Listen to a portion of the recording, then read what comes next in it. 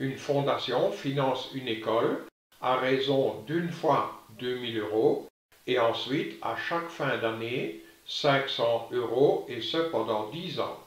Question Combien vaut cette donation à la fin des 10 ans si le taux d'intérêt annuel est de 1,5% Comme il s'agit d'annuité, nous pouvons appliquer ces deux formules. Mais notons d'abord tout ce qui est donné.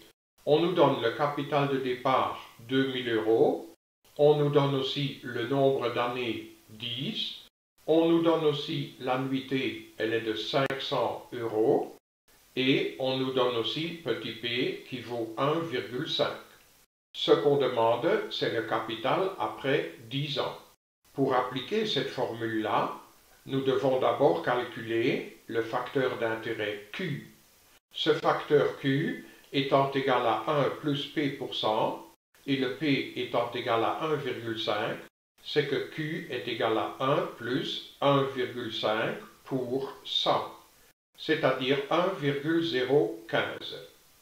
Si, dans cette formule-là, nous remplaçons le C0 par 2000, le Q là, là et là par 1,015, le R par 500 et le N là et là par 10, alors nous obtenons ce calcul-là.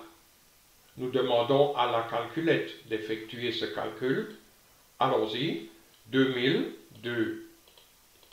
2000 fois 1,015 exposant 10. Maintenant, une fois curseur vers la droite pour quitter l'exposant, voilà, et puis plus 500 fois fraction, le numérateur c'est 1,015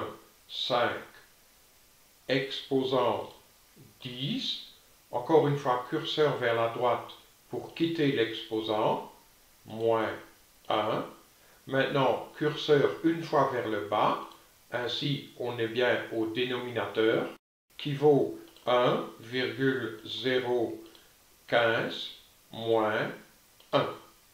Maintenant, la touche égale. La calculette livre cette réponse-là, 7672,44. Réponse que nous reportons vers ici. Et nous n'oublions pas de l'exprimer en euros. Et la tâche est terminée.